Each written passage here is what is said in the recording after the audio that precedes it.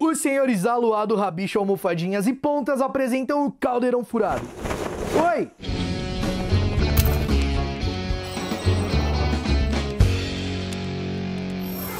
Fala aí, bruxões, beleza? Animais Fantásticos, os Crimes de Grindelwald chegou e deixou os fãs com uma verdadeira mala cheia de dúvidas. Não foi cheia de criaturas, não, foi cheia de dúvidas mesmo. Com toda certeza, a maior das dúvidas veio quando acabou o filme, né? Ali no finalzinho, você pegou e ficou tipo, tá, que isso? O Grindelwald simplesmente chega pro Credence, consegue atrair a atenção dele, leva ele lá pro castelo de Nurmengard, onde ele provavelmente mora, né? E fala assim: "Cara, você não é, seu nome não é Credence não, mano. Seu nome é Aurelius Dumbledore e seu irmão tá te traindo aí e é isso". E a gente ficou tipo: "Não, meu Deus, não é possível. Como assim? O que que tá acontecendo? Pera aí. O que que tá acontecendo aqui?". Eu tenho absoluta certeza que você ficou espantado. Eu confesso que eu a primeira coisa que veio na minha cabeça é tipo, Grindelwald tá mentindo, mano. A cara dele. Não é possível ele tá mentindo, não, não tem como, não existe possibilidade de ser. Aí o que, que eu fiz? Eu cheguei em casa, eu já mergulhei nas datas, pesquisando, eu já tava, já tinha as datas na cabeça das coisas, né? Já tinha as datas na cabeça. Eu falei, não, só pra ter certeza, eu vou dar uma pesquisada aqui mais a fundo para ver se, se isso rola mesmo. Se você for pela linha do tempo, cronológica ali, canônica de Harry Potter, realmente não vai rolar, porque os acontecimentos envolvendo a família do Dumbledore simplesmente não permitem que o Credence seja um filho da Kendra e do Percival, que são os pais do, do Dumbledore, né? Então, pra ser irmão, ele tem que pelo menos ser filho de um ou de outro. E não dava, porque o Percival foi preso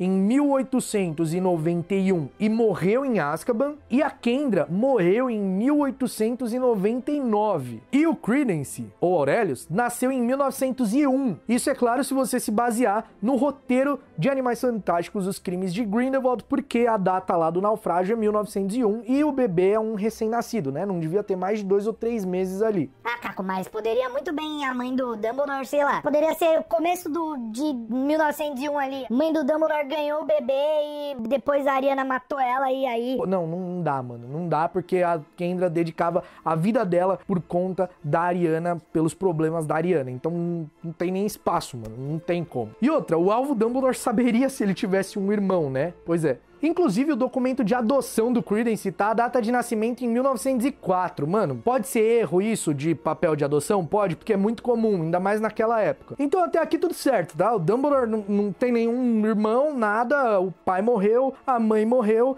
e ele acabou tendo que cuidar dos irmãos Aberforth e Ariana, certo? Certo. E aqui que é importante a gente analisar tudo para entender por que o Aurelius Dumbledore realmente é um Dumbledore. Como eu disse, quando Kendra Dumbledore morreu, Alvo estava prestes a se formar em Hogwarts, aliás, tinha acabado de se formar, e ele planejava uma viagem ao redor do mundo com Eliphas Dodge, que era seu amigo, para eles estudarem e conhecerem as coisas que eles queriam conhecer. Só que o Alvo teve que cancelar isso, né? Porque ele teria que cuidar dos seus dois irmãos, o Aberforth e a Ariana. Foi nessa época que Alvo Dumbledore conhece Gellert Grindelwald, que tinha sido expulso de Durmstrang e ido morar em Godric's Hollow com sua tia-avó Batilda Bagshot. Os dois se conhecem, constroem uma relação muito mais do que amigos, muito mais que friends. Os caras desenvolvem uma parada bem, bem íntima ali entre eles, bem forte, inclusive eles fazem um pacto de sangue, a gente descobre ali que eles não podem nem lutar um contra o outro. E essa parte é muito importante. Por quê? Porque o Dumbledore acaba deixando de lado sua irmã e seu irmão, que precisava muito da atenção dele, né, já que a Ariana tinha problemas. Ele acaba deixando ela, eles de lado por conta dessa coisa do Grindelwald, dele do Grindelwald de nossa, vamos dominar o mundo, vamos encontrar as relíquias da morte, vamos ser os maiorais. O Aberforth, que era um pouco pavio curto, já tava ficando sem saco para isso. E aí ele chega no alvo e fala: "E aí, mano? Qual foi?". Com isso começa uma discussão entre o alvo e o Aberforth e o Grindelwald também se mete e acaba dando muito ruim, porque os três começam a duelar. O Grindelwald usa um Cruciatus no Aberforth e o alvo fica tipo: "Oh, que tá acontecendo aqui, mano? É meu irmão". E o bicho pega, o bicho pega bem pegado, e esse duelo resulta na morte de Ariana Dumbledore. E a gente não sabe até hoje quem foi que atingiu a menina, se qual feitiço foi o Grindelwald ou o Dumbledore que atingiu a menina e matou ela. Bom, todos nós suspeitamos que Ariana Dumbledore era um obscurial, ou seja, ela era portadora de um obscuros, já que quando ela era jovenzinha, quando ela tinha uns seis aninhos ali, três trouxas viram ela fazendo magia magia e começaram a importunar ela, bateram nela, abusaram dela para que ela fizesse de novo. Isso fez com que ela ficasse traumatizada e reprimisse a magia. E ela era descrita por Aberforth Dumbledore anos mais tarde, exatamente desse jeito aqui. O que eles fizeram destruiu Ariana ela nunca mais voltou ao normal. Não queria usar magia, mas tampouco conseguia se livrar dela. O seu poder voltou-se para dentro e a enlouqueceu. E rompia dela quando não conseguia controlá-lo, e por vezes ela se tornava estranha e perigosa, mas a maior parte do tempo era meiga, assustada e inofensiva. Essa é a descrição idêntica à do Credence. O Credence era um menino assustado e meigo e inofensivo na maior parte do tempo, mas quando ele se descontrolava, o Obscurus saía dele e causava o maior catástrofe. A maior catástrofe, no caso.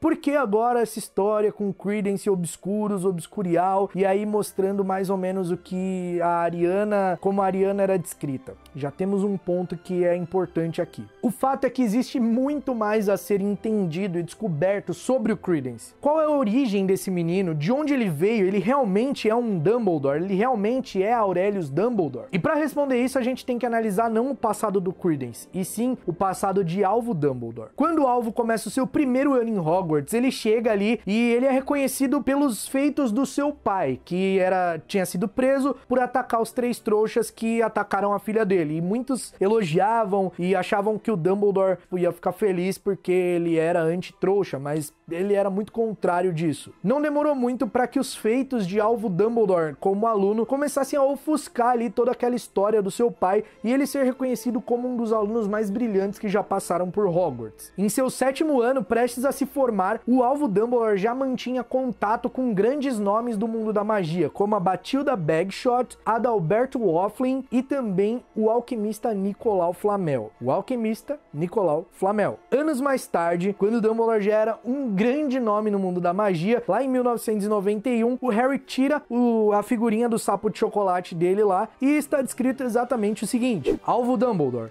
atualmente diretor de Hogwarts, considerado por muitos o maior bruxo dos tempos modernos Dumbledore é particularmente famoso por ter derrotado Grindelwald, o Bruxo das Trevas, em 1945, por ter descoberto os 12 usos do sangue de dragão e por desenvolver um trabalho em alquimia em parceria com Nicolau Flamel. Nicolau Flamel, por sua vez, era o célebre alquimista que ficou conhecido mundialmente por ter criado a Pedra Filosofal. A Pedra Filosofal que possui o Elixir da Vida e transforma qualquer metal em ouro puro, o grande desejo de todo alquimista. Aí a gente imagina, caramba, o Dumbledore que ajudou o Nicolau Flamel a fazer a Pedra Filosofal? Eu, particularmente, nunca achei isso, porque o Nicolau Flamel tinha 666 anos em 1992. Isso quer dizer que ele já tinha feito a Pedra Filosofal muito tempo antes, há muitos séculos antes. Muitos séculos não, pelo menos uns 4 séculos antes ou 5 séculos antes. Até porque, né, bruxos vivem um pouco mais do que os trouxas, então é comum ver um bruxo aí com 120 120, 130 anos. Mas 666 já é um absurdo e era coisa que ele só conseguia por conta do Elixir da Vida. Então isso significa que o Nicolau Flamel fez a Pedra Filosofal muito antes de conhecer o Dumbledore, certo? E se o trabalho em conjunto com o Nicolau Flamel não foi a criação da Pedra Filosofal, qual foi o trabalho em conjunto que o Dumbledore fez com o Nicolau que era tão importante para ser citado lá na figurinha dele do sapo de chocolate? Hum,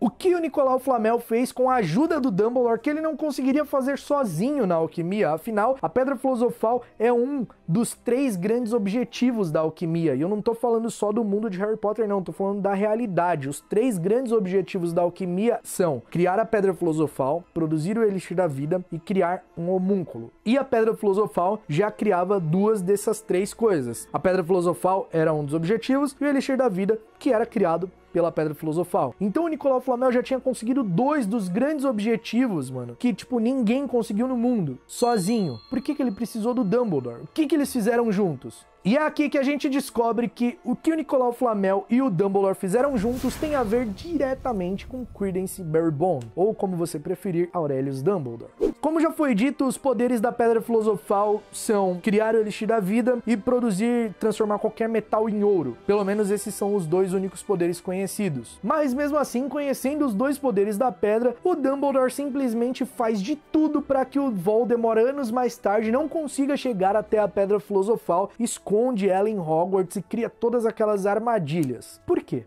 O Voldemort já tinha sido atacado de forma fatal lá em 1981, certo? Seu corpo já havia sido destruído. E mesmo assim, ele não estava morto. Então ele não precisava da pedra para evitar a morte, para ter um elixir da vida e viver para sempre, já que ele já tinha sido atacado e de alguma forma sobrevivido, com alguma magia que o Dumbledore ainda não sabia qual que era, mas iria descobrir alguns anos depois, que eram as Horcruxes. É bom impedir o Voldemort de ter qualquer coisa, né, que ele pudesse ter poder. Mas por que que o Dumbledore queria impedir o Voldemort de pegar a pedra, já que ela não seria muito útil, a não ser que o Dumbledore sabia de um poder da pedra que a gente ainda não sabe. O Dumbledore faz de tudo para impedir que o Voldemort pegue a pedra, porque ele iria reconstruir o seu corpo com ela. Mas como? Se os dois poderes da pedra eram produzir o elixir da vida e transformar qualquer metal em ouro. Será que o Dumbledore já viu esse poder em algum outro lugar, em alguma outra situação?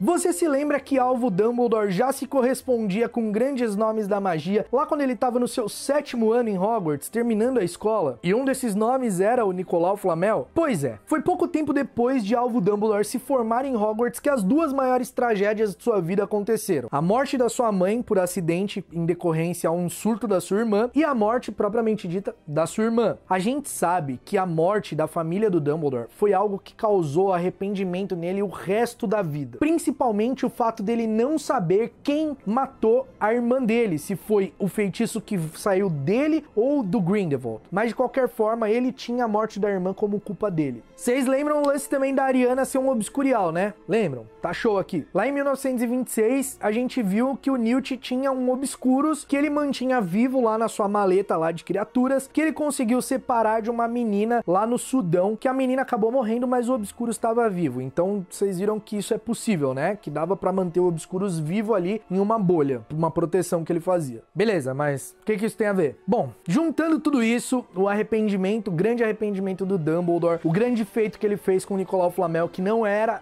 a Pedra Filosofal. Tudo que eu já falei aqui aponta para a teoria de que o alvo Dumbledore pediu ajuda desesperada para o Nicolau Flamel logo quando ele aconteceu ali a morte de sua irmã, após ele se formar em Hogwarts, para o Nicolau Flamel ajudá-lo a tentar reverter o que tinha acontecido, a tentar reconstruir o corpo de sua irmã usando a Pedra Filosofal. Que? É, eu sei, eu sei que você deve estar tá achando muita loucura, mas a gente já viu isso antes, né? A reconstrução de um corpo de alguém que tinha morrido. A gente viu inclusive mais de uma vez. E foi lá com Voldemort e ele nem. E uma das vezes que ele ia tentar que não deu certo foi porque ele não conseguiu a pedra filosofal, que ele ia usar a pedra filosofal para isso. Ah, Rato, mas o Voldemort tinha lá o espectro dele lá, da alma dele, por isso que ele ia conseguir reconstruir o corpo. E a Ariana tinha o quê? Tinha o Obscurus. Essa teoria afirma que o Dumbledore, em parceria com o Nicolau Flamel, tiraram o Obscurus lá da Ariana morta e, a partir dele, usando a Pedra Filosofal, tentaram criar um corpo novo para ela. Talvez você esteja achando isso meio impossível, mas lembra dos três grandes objetivos da alquimia? A criação da Pedra Filosofal, a criação do Elixir da Vida e o terceiro, que era a criação do Homúnculo. Dois dos grandes objetivos o Nicolau já tinha conseguido sozinho. E o terceiro, que era o Homúnculo, ele conseguiu parceria com o Dumbledore.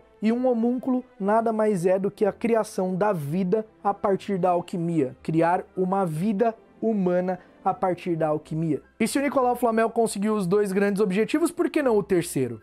E onde você quer chegar com tudo isso, Caco? Simples, eles usaram e, para surpresa deles, deu certo. Só que não como eles esperavam. Ao invés deles criarem o corpo da Ariana no obscuros dela ali de volta, eles criaram um bebê. E esse bebê você conhece mais tarde como Credence Barrybone ou como Aurelius Dumbledore. Quando Dumbledore e o Flamel se deram conta do que eles tinham feito, do quão ruim isso podia dar com as autoridades no mundo da magia, eles decidiram que era melhor eles mandar a criança para outro lugar. E como é possível ver em Crimes de Grindelwald, o Dumbledore e o Nicolau têm vários contatos no mundo da magia. Inclusive, o Nicolau Flamel usa uma espécie de agenda para falar com a Eulalie Rix, que é a professora de feitiços lá de Ilvermorny. O Dumbledore também tem um livro desse. Todos esses contatos, esses grandes nomes da magia, tinha aquele livro para que eles se comunicassem. Então o Dumbledore e o Flamel mandam a criança em um navio para a América para que ele ficasse lá, sendo criado como filho de outra pessoa, estudando em Ilvermorny, porque provavelmente seria um bruxo. Então foi isso que eles fizeram. Caco, como assim, mano? Quem leva o, a criança lá é uma mulher lá, quem tá levando o Credence antes dele ser trocado. Tudo bem, tudo bem, mas se você pegar o roteiro, sabe como essa moça é descrita? Tia do Credence. Por que que não é citado o nome dela? Simples, porque esse seria um grande de um spoiler. Você sabe quem é que tem uma tia que era separada e não tinha família? Alvo Dumbledore. Ele fala sobre essa tia que era casada, mas acabou dando um pé na bunda do marido e vivia sozinha lá, que não tinha família, não tinha filho. Ele fala sobre ela em uns contos de o Bardo. Numa nota de rodapé lá, ele conta sobre a tia Honória Dumbledore. Então, se o Credence, ou Aurelius, era realmente a Ariana, né, transformada ali a partir da alquimia como um novo ser humano, um novo bebê, aquela também era tia do Credence. Tia do Credence. Por isso ela estava descrita desse jeito no roteiro. Eles não iam colocar lá Honória porque a gente ia se ligar. Também não seria a primeira vez que o Dumbledore coloca alguém para ficar distante, achando que seria o melhor para aquele indivíduo. A gente vê isso claramente ele fazendo com o próprio Harry, inclusive, deixando o Harry lá com os trouxas, longe de tudo para que ele ficasse seguro. O Dumbledore e o Flamel entendem então que é melhor esse bebê ficar lá na América com a tia Honória dele, sendo criado como se fosse filho dela, indo para Ilvermorny com o contato lá da Eulalie, ela sabia sobre isso. E então depois o Dumbledore conheceria o seu irmão, né, criado pela alquimia e explicaria para ele o que tinha acontecido. Mas você se lembra o que aconteceu com o navio que levava o pequeno Credence? Ele naufragou e o Dumbledore acreditava que o bebê tinha morrido. O que o Dumbledore nem sonhava era que a Leta Lestrange trocaria o Credence com o Corvus e faria toda essa confusão e o Corvus morreria no lugar do Credence, né? Já que o bebê foi trocado. Todas as dúvidas que a gente tem sobre Aurelius Dumbledore, por que, que ele vive tanto tempo com um Obscuros, já que o normal era as crianças morrerem com essa condição? Por que Aurelius Dumbledore? De onde o Grindelwald tirou isso? Como que uma Fênix vai até ele, já que o próprio alvo Dumbledore fala que existe uma lenda na família Dumbledore que a Fênix vai até um membro quando esse membro estiver precisando? Tudo isso se explica com a criação do Credence a partir da Pedra Filosofal e com o Obscuros da Ariana. O Credence sobrevive tanto tempo porque ele não é um bruxo que desenvolveu um Obscuros, ele era um Obscuros que depois ganhou um corpo. Então por isso que ele conseguia viver, sobreviver tanto tempo com isso. A Fênix vai até ele porque ele realmente é um Dumbledore. Porque o Obscuros que estava na Ariana e criou o corpo ali, a partir desse Obscuros, criou o corpo do Credence com a Pedra Filosofal, carregava o DNA, o gene da família Dumbledore. E o Grindelwald saberia dessa história, já que, né, ele e o Dumbledore tinham a sua relação ali, o seu segredo. Então tudo bem que o Grindelwald acaba fugindo depois da morte da Ariana, mas provavelmente ele fica sabendo disso. Tá achando isso muito doido e muito viajado? Pois não para por aí, tem muito mais referência que aponta e que corrobora com essa teoria. O nome Ariana significa prata. Já o nome Aurélio significa ouro, filho do ouro. E qual que era mesmo um dos poderes da pedra filosofal? Transformar prata ou qualquer outro metal em ouro, a transformação pro ouro. E mano, eu acho muito difícil ser coincidência, porque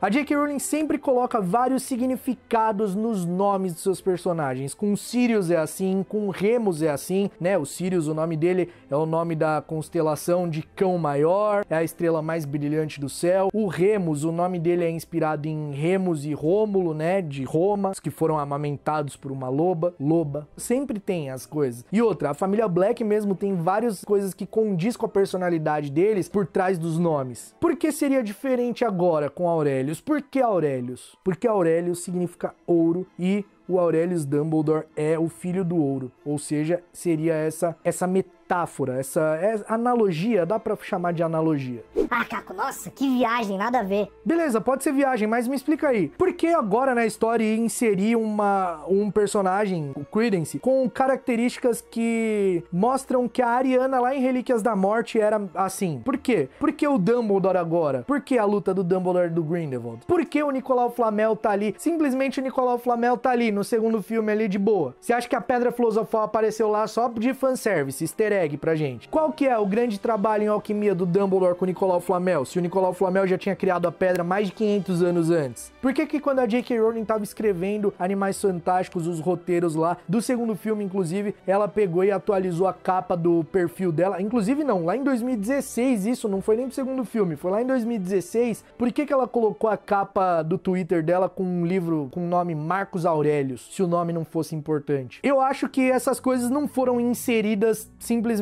à toa, tá ligado? Não, não acho. E eu acho que, assim, seria um blefe, uma coisa muito chata se o, Grindelwald tivesse mentindo sobre a origem do Credence, sobre ele ser Aurelius. Cara, essa teoria faz muito sentido. Imagina só se for isso, vai ser muito da hora. Isso explica muita coisa, velho. Explica muita coisa. Por que, que a Fênix vai até ele? Por que, que o Nicolau Flamel aparece agora? Por que, que a Eulalia Rix, que vai aparecer no próximo filme, é tão importante? Por que, mano? Por que a mulher que leva o bebezinho Credence tá lá como tia do Credence? Essas coisas sempre têm motivo em Harry Potter. Nada é à toa em Harry Potter. Mas eu quero saber o que você acha dessa teoria. Você acha que Credence, ou Aurelius Dumbledore, é o homúnculo criado a partir da Pedra Filosofal com um obscuros da Ariana? Você acha isso? Você acha que a, o Aurelius é, de certa forma, a Ariana que foi criada a partir da Pedra Filosofal? Se você acha que essa teoria faz sentido, comenta aqui embaixo. Essa teoria não é minha, eu só incrementei algumas coisas para ela fazer mais sentido. Ela é do canal Super Carlin Brothers. Se você quiser assistir o vídeo